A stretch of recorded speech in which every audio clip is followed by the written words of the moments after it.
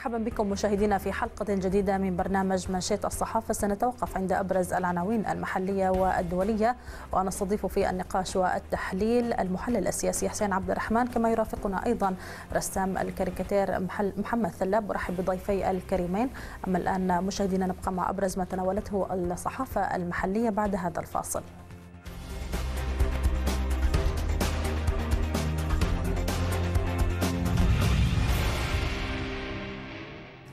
نبدأ من عناوين الوسط. صباح الخالد يتوجه إلى نيويورك لترأس بعض جلسات مجلس الأمن وفي تفاصيل الخبر تكتب الوسط يعقد مجلس الأمن غدا الثلاثاء جلسة برئاسة الشيخ صباح الخالد نائب رئيس مجلس الوزراء ووزير الخارجية حول الأشخاص المفقودين في النزاعات المسلحة والتي ستقدم دولة الكويت خلالها مشروعا مشروع قرار أممي يهدف إلى دعم وتعزيز سبل حماية المدنيين في النزاعات المسلحة. كما سيتم يترأس الشيخ صباح الخالد يوم الأربعاء المقبل جلسة مجلس الأمن التي ستنعقد تحت بند حفظ السلم والأمن الدوليين حول منع نشوب النزاعات والوساطة وتعددية الأطراف وذلك لإبراز الأهمية الحتمية لهذه المقاصد والتي تعتبرها دولة الكويت ركائز أساسية لسياستها الخارجية علاوة على ترأسه في الثالث عشر العشر المقبل لجلسة رفيعة المستوى في إطار بند التعاون بين الأمم المتحدة والمنظمات الإقليمية ودون الإقليمية حيث ستقدم دولة الكويت ورقة مفاهمية حول سبل تعزيز وتعميق أطر العمل المشترك بين مجلس الأمن وجامعة الدول العربية وجعلها أكثر فاعلية وشمولية تلفت صحيفة الوسط. أستاذ حسين أرحب بك معنا مرة أخرى في هذه الحلقة. وإذا ما تحدثنا عن مدى أهمية ورمزية ترأس دولة الكويت لمجلس الأمن. دولة يعني حقيقة أن اليوم الكويت عاملة ورشة كبيرة من العمل في نيويورك في مجلس الأمن. وهذه الورشة هي يعني حقيقة ترجمة لتطلعات سمو الأمير حفظه الله في قضايا العربية والقضايا الدولية. لذلك سفر نائب الأول رئيس مجلس الوزراء وزير الخارجية الشيخ صباح الخالد إلى نيويورك اليوم لأن الكويت ستترأس مجلس الأمن. وهذه هي ثالث مرة تترأس الكويت مجلس الأمن منذ انضمامها إلى الأمم المتحدة أول مرة سنة 79 والحين 2018 2019 هذه آه ثاني مرة تترأس في خلال العامين هذول اللي يعني 19 و 18 19 هاي ثاني مرة تترأسها. الكويت عندها آه مشروع عمل آه هذا المشروع آه له أبعاد ثلاثة. مشروع إنساني وهذا هو الهدف الكويت وهدف الكويت دائما في القضايا الإنسانية ستكون أولوية. نعم. وفي مشروع عربي يعني يحملها هي القضايا العربية اللي موجودة على جدول اعمال مجلس. بالنسبة للمشروع الإنساني هو حل النزاعات ها بالواسطه، الكويت تؤمن دائما بأن حل أي نزاع لا يجب أن لا يكون عسكريا بل بالتفاهم والتواصل. وهذه سياسة يعني انطبقها سمو الأمير منذ يعني زمن طويل وهو التحاور والتفاوض من أجل الوصول إلى حل.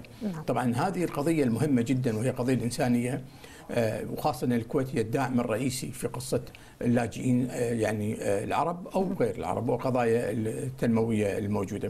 لذلك جلسة الأمم المتحدة المقبلة جلسة مهمة جدا خاصة أن لازم نعرف علا أن في مجلس الأمن تسع قضايا عربية مدرجة على جدول أعمال. جدول أعمال يعني بس خلينا نعدهم يعني مساعديني إذا أنا نسيت نعم.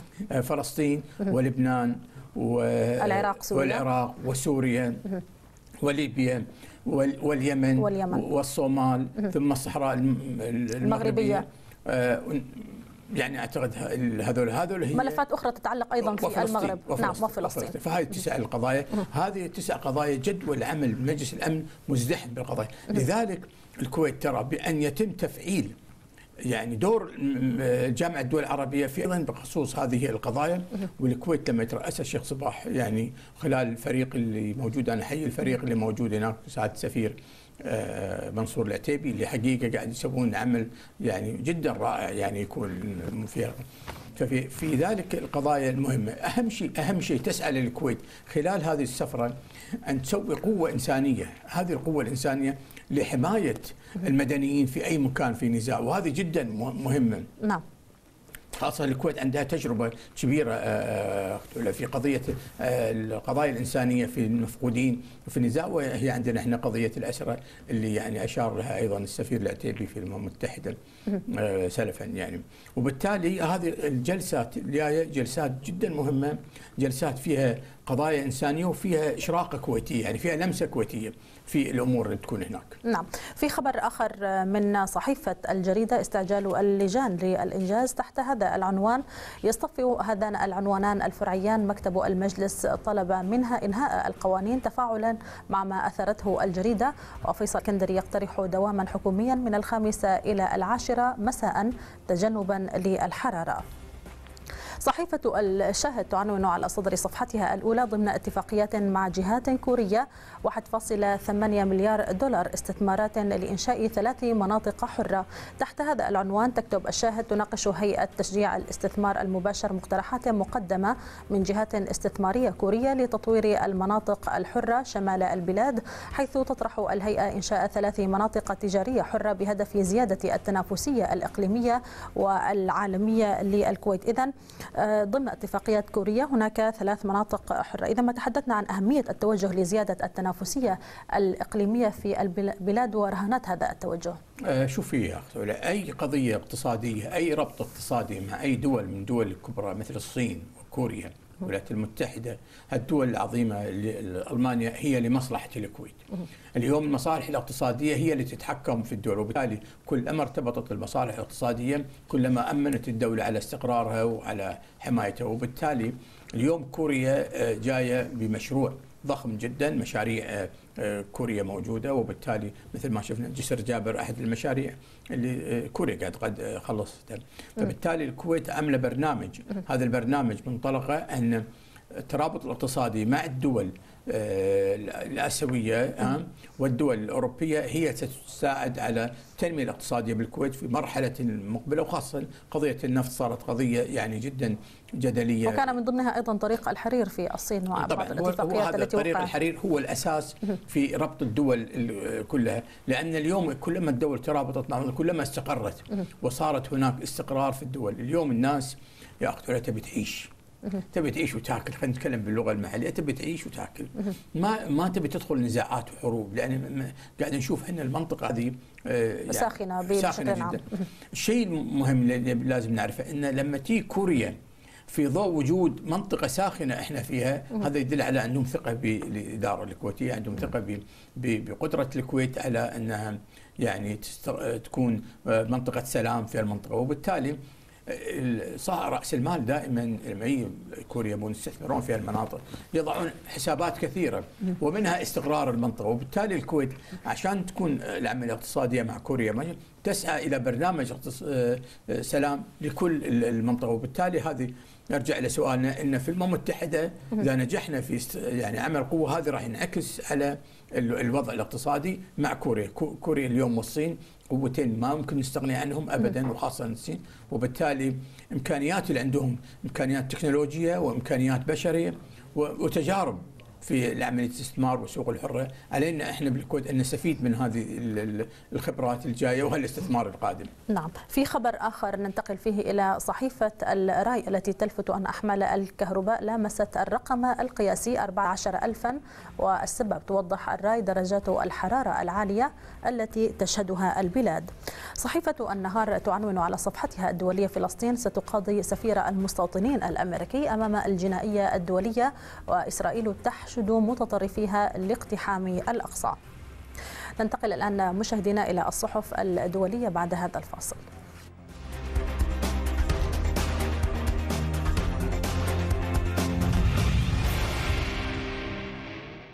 نبدأ من صحيفة لوفيغارو الفرنسية التي علقت على تصريحات السفير الأمريكي لدى الكيان الإسرائيلي وتقول رغم أنه لم يتم تحديد موعد للإعلان عن مبادرة السلام في الشرق الأوسط فقد تكون تعليقات ديفيد فريدمان قد عززت معارضة الفلسطينيين للخطة ولوفيغارو لفتت أن الحكومة الفلسطينية أدانت السياسة الأمريكية.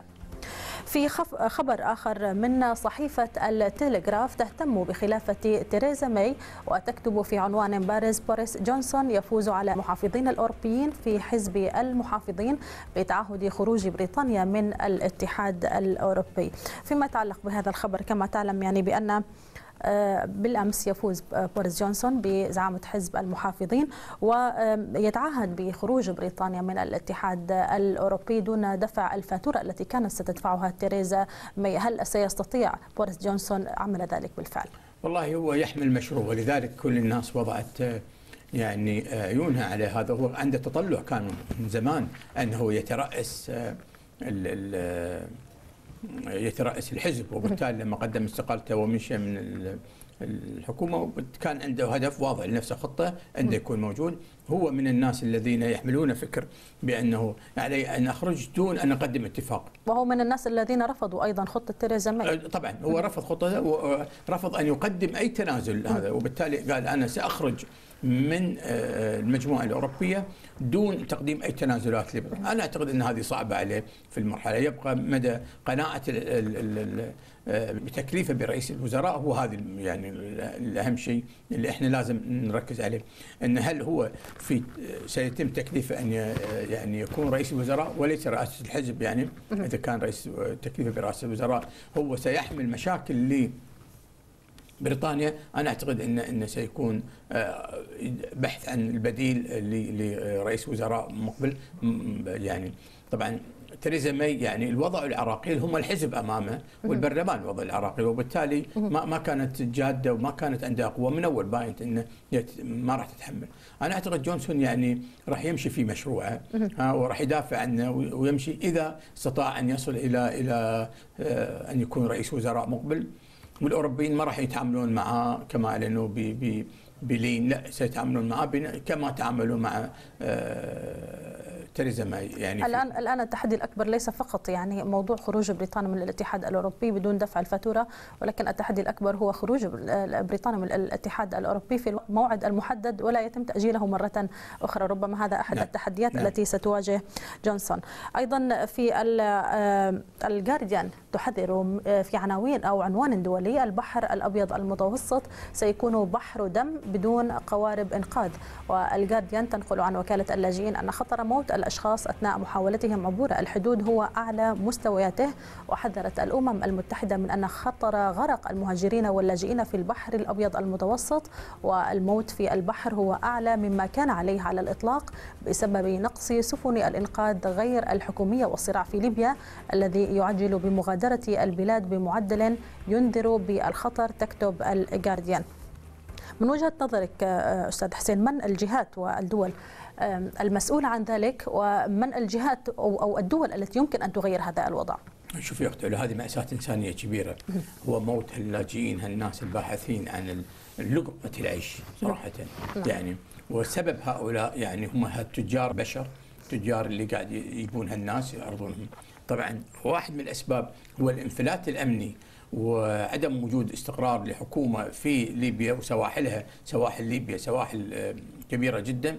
هي تساعد على هجرة الأسيويين يعني وصولهم إلى إلى أفريقيا وإلى ليبيا بأي طريقة كانت ثم يأخذونهم التجار إلى عرض البحر ويتركونهم هناك.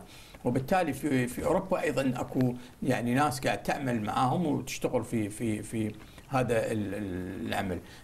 القضية قضية إنسانية. يراد لها قرار دولي بمساعدة هؤلاء الناس بايجاد قوة بحرية عندهم كل الدول العربية والدول الأجنبية عندها اساطيل بحرية. يعني مش ضروري إن هذه الاساطيل تكون حربية. قد تكون إنسانية وهي أن تساعد هؤلاء اللاجئين تنقذهم. يعني أكو كثير من الأوقات يعني ربما يتركونهم. يعني يروحون أنا نعرف إحدى الدول يعني مشهورة بأن ما ممكن تساعد اللاجئين هذه قضية يعني هي قضية فلوس ومربحة ماديا. لكن ما أمام الناس هذول إلا أن آه، آه، يعني آه، يتجهوا ويغامروا ويعبروا البحر ونحن نتحدث عن بلد الحريات وبلد الديمقراطيات يعني وبلد البلاد الإنسانية نتحدث عن الدول ااوروبيه التي تستقبل ولكن هؤلاء الأوروبيين مش مستعدين اليوم في نظرة عنصرية موجودة في أوروبا. هذه النظرة العنصرية يعني حملها ترامب حملها في فرنسا. اليوم أيضا الفرنسيين يطالبون بهالشيء آه، ان ان إن عدم وجود المهاجرين. المهاجرين. المهاجرين وقضية في في آه، في ألمانيا أيضا مثيرة قضية المهاجرين. ونحن نعرف إن آه، آه، أدت إلى مشاكل كبيرة مع مشاكل كبيرة. وكيف ان إن- انجلا ميركل. ميركل ضربت مثال رائع جدا نعم. نعم. يعني لما استقبلت اللاجئين السوريين. وهذه هي تعتبر يعني موقف إنساني جميل جدا.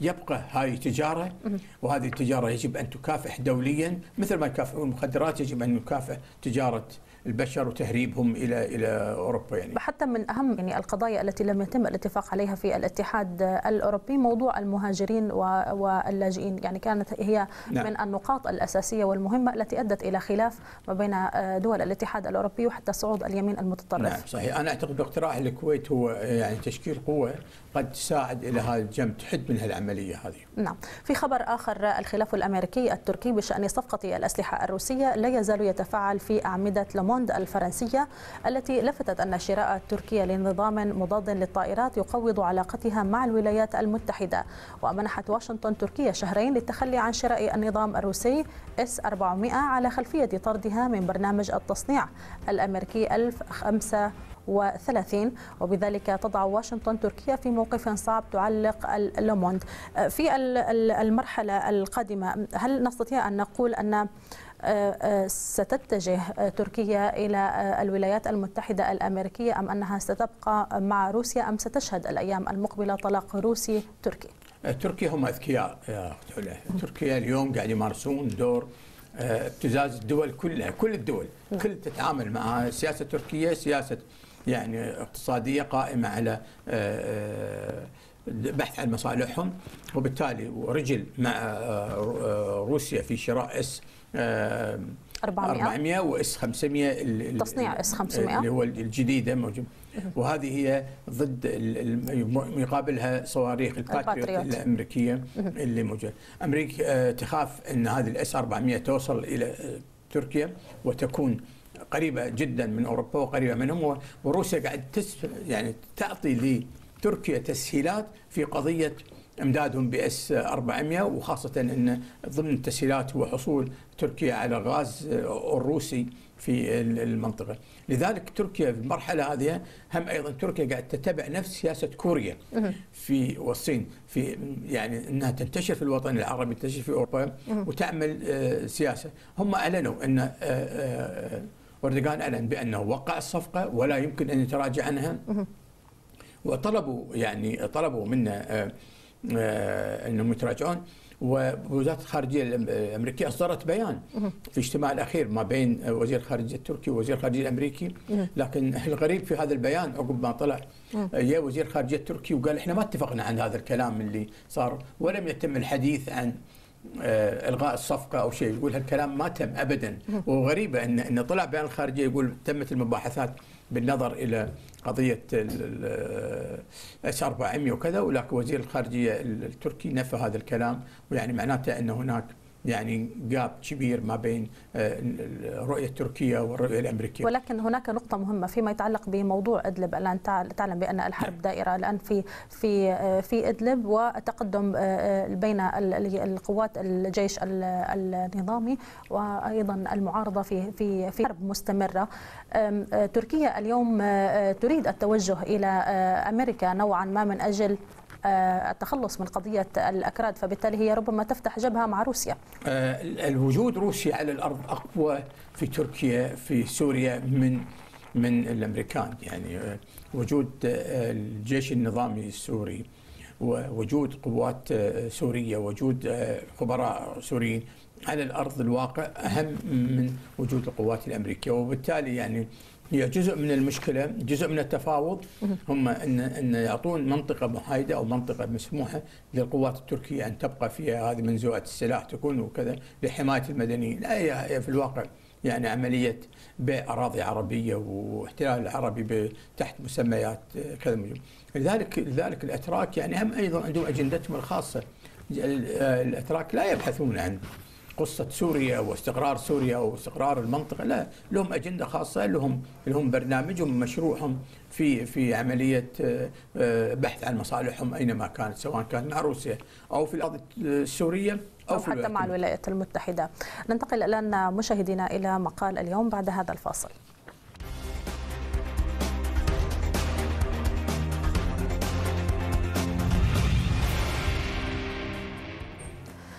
مقال اليوم اخترناه من صحيفة الإندبندنت البريطانية وفيها كتب هامش ماكراي لا تستمع إلى المنافسين زعامة حزب المحافظين. لن يكون هناك أي دعم للاقتصاد ما لم نقبل شروط الاتحاد الأوروبي بشأن خروج بريطانيا من الاتحاد الأوروبي. أيا كان رئيس الوزراء الجديد يعلق الكاتب فلن يتمكنوا من تغيير الوضع الاقتصادي الذي يرثونه. بدلا من ذلك سيتعين عليهم لعب مجموعة الورق هذه لأنها موجودة موجودة حاليا بدلا من التخلص منها وطلب أخرى. الكاتب رأى أنه لا يوجد, لا يوجد وقت لإعادة التفاوض بشأن صفقة خروج بريطانيا من الاتحاد الأوروبي التي رفضت ثلاث مرات قبل أو رفضت ثلاث مرات قبل انتهاء التمديد الحالي للعضوية في الحادي والثلاثين من أكتوبر. وحتى لو كان الاتحاد الأوروبي على استعداد للقيام بذلك سيكون هناك أيضا لجنة جديدة ويتم قضاء الصيف في فوز أو في فرز الوظائف. كما لفت صاحب المقال أن بين مسائل أخرى إلى أنه من غير الواضح ما إذا كانت دول الاتحاد الأوروبي الأخرى ستمنح تمديدا آخر. ربما نعم لكن ليس من الواضح أن ذلك سيحدث. وتتضمن جميع مقترحات المرشحين المحتملين إنفاق المزيد من الأموال العامة حتى تلك التي تقترح استخدام المدفوعات إلى الاتحاد الأوروبي كورقة مساومة. وأي تباطؤ في الاقتصاد سيؤدي إلى خفض الضريبة. يعلق الكاتب الذي يخلص إلى القول. حتى الآن كانت العائدات قوية بشكل ملحوظ ولكن لا يمكن ضمان استمرار القوة. ننتقل الآن مشاهدينا إلى الكاريكاتير بعد هذا الفاصل.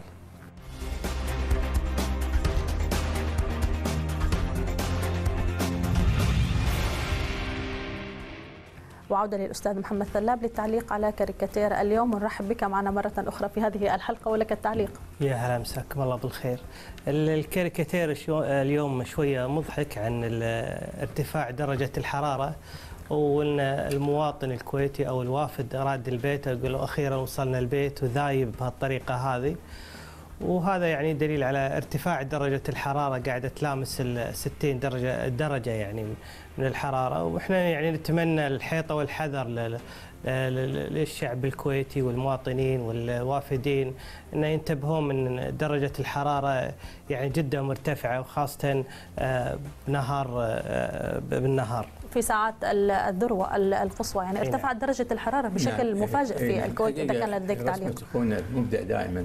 محمد ثلاب يعني ممتازة جدا ويتعبر عن واقع درجة الحرارة وأنا أعتقد إحنا لازم كلنا الموجودين بالكويت نحصل على ندخل في جينيس لتحملنا قدرة الحرارة هذه وهذه. الحمد لله نعمة منا أيضا. يعني وقدرتنا على تحمل وأيضا مطلوب الحيطة جدا في الفترة هذه. ينصحون الأطباء وأنا ما يطيب هو شرب الماء والابتعاد عن الشمس وكذا يعني خاصة بالسيارة أيضا يعني. نعم. عدم أهم قضية الآن هذا عدم ترك الأطفال بالسيارة لفترة طويلة إن ربما. ان, إن رايح البنك أو رايح الجمعية يدخل وهذه قضية جدا مهمة قضية جدا مهمة في الفترة هذه في الأيام هذه. أتمنى للناس كل السلامة. وخوش شمس عندنا. نعم. اذا مشاهدينا بهذا الكاريكاتير وصلنا معكم إلى نهاية هذه الحلقة من ماشية الصحافة. أشكر ضيفي المحلل السياسي حسين عبد الرحمن ورسام الكاريكاتير محمد ثلاب وأشكركم على المتابعة. السلام عليكم.